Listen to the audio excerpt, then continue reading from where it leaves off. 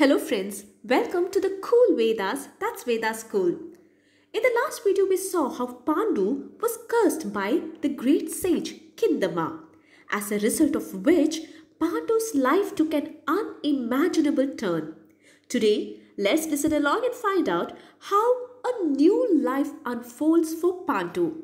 Now this story has been mentioned in Sambhava Parva in Adi Parva. So let's listen along. Shattered by Kindama's curse, Pandu, with a painful heart, said his followers in the forest thus I shall now adopt the Brahmacharya mode of life. I shall certainly bring my passions under complete control by severe ascetic penances. Forsaking my wives and other relatives and shaving my head, I shall alone wander over the earth. Forsaking every object of affection and aversion and covering my body with dust, I shall make the shelter of trees or deserted houses my home, and I shall live by begging for food. The king, having thus wept in sorrow, with a sigh, he looked at his wives, Kunti and Madri, and then he addressed them thus. He said, Let the princesses of Koshala, that is his mother, then Vidura, the king, with our friends, the venerable Satyavati, Bhishma, the priest of our family, the Brahmanas of rigid vows, and all elderly citizens depending on us be informed that Pandu has retired into the woods to lead a life of asceticism. Let them be informed that Pandu has renounced his throne and the comforts of life. Hearing these words from their Lord, who had set his heart on a life of asceticism in the woods, both Kunti and Madri addressed him politely and said, O great one, there are many other modes of life which you can adopt and in which you can undergo the severest penances along with us, your wedded wives, with which, for the salvation of your body, that is freedom from rebirth, you may obtain heaven along with us. We also, in the company of all our Lord, and for His benefit, controlling our passions and bidding favor to all luxuries, shall, shall subject ourselves to the severest austerities. O great one, you of great wisdom, if you abandon us, we shall then this very day truly depart from this world, O king. The great Pandu, hearing these words from his beloved wives, was very pleased, and he then looked at the Brahmanas and took off his necklace of precious golds, his bracelets, his large earrings, his valuable robes, and all the ornaments of his wife, and gave it to them. Then, summoning his attendants, he commanded them, saying, Return you to Hastinapura and proclaim unto all that Pandu with his wives will stay in the woods, having renounced all wealth, desire, and happiness.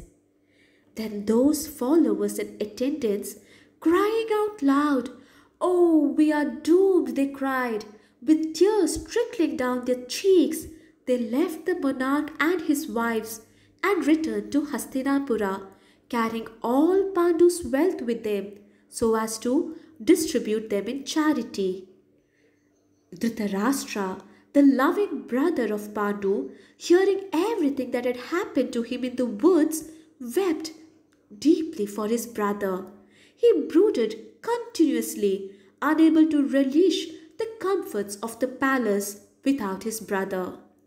Meanwhile, the Kuru prince Pandu, having sent away his attendants, he then, accompanied by his two wives, having fruits and roots for food, went to the mountains of Nagashata.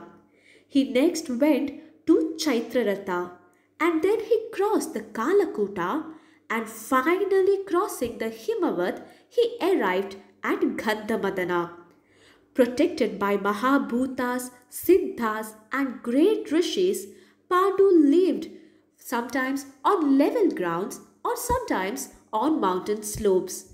He then journeyed onto the lake of Indradyumna. Hence, crossing the mountains of Hamsakuta, he then went to the mountains of Shatashringa, the mountain of hundred peaks.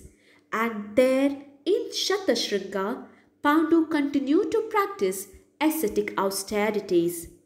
The image in the left side of the screen shows these places where Pandu travelled while he was living, in the woods, whereas the image on the right side of the screen shows the military expansions Pandu had made during his rule in Hastinapura. You can find the link to this site in the description box below. It's an interesting work. Now, back to the story. So Pandu having reached Shatashringa devoted himself to severe asceticism.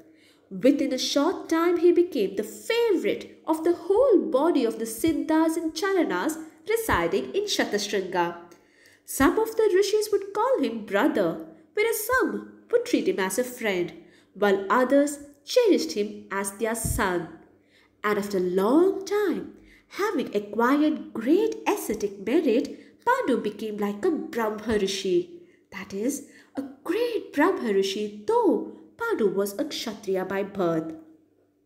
Then, one fine day, that is on a day of the new moon, the great rishis of Shatashringa assembled together and they were on the point of starting on their expedition to meet the great lord Brahmadeva. Seeing them, Pandu asked, asked those rishis as to where they were going. To this, the great rishis answered, O son, there will be a great gathering today of devas, rishis, and pitras in Brahma's abode. We are about to go there now.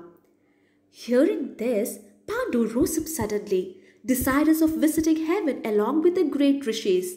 So, accompanied by his two wives, when he was on the point of following the rishis in the northerly direction from the mountains of Shatashringa, those great rishis addressed him saying thus, They said, O son, in our journey, as we gradually go up the mountains, we have seen on its delightful breast many regions inaccessible to ordinary mortals. We have seen land of the gods, Gandharvas and Apsaras. There are many regions that are covered with snow and have no vegetable and animal existence. In some places, the downpour of rain is so heavy that they are perfectly inaccessible and incapable of being utilized for habitation. Not to speak of other animals, even winged creatures cannot cross them.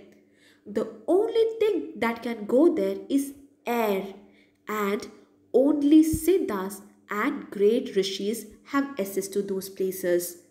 How shall these princesses ascend those heights, O Pandu? Unaccustomed to pain, they will be incapable of climbing such a mountain. Therefore, don't come with us, O son. Hearing these words from the great rishis, Pandu was very saddened, and he said, O fortunate ones, will I never be able to reach heaven? Great ones, with your knowledge, please tell me if I will ever be able to reach heaven. Will I ever be able to have children from my wives? Is there any chance for a miracle for me to have children? Just as my mother got me when all the hopes were doomed for her. Is there a chance for such a miracle in my life? The rishis, hearing this, they answered thus O king, with our prophetic eyes, we do see children in your future. So, Pandu, with your actions, accomplish what destiny has in store for you. You will be blessed with illustrious children just like the Devas. Pandu was very puzzled and also extremely happy at the same time hearing this. The rishis, meanwhile, bid farewell to Pandu and started on the journey to meet Brahmadeva. And Pandu rushed back to his wives. Now, will the great Kuru King Pandu be able to transgress Rishi Kindama's curse and beget children upon his wives? Let's read along and find out. Please like, share and subscribe our channel for more Mahabharata stories. Do not forget to press the bell icon. Thank you. Namaste.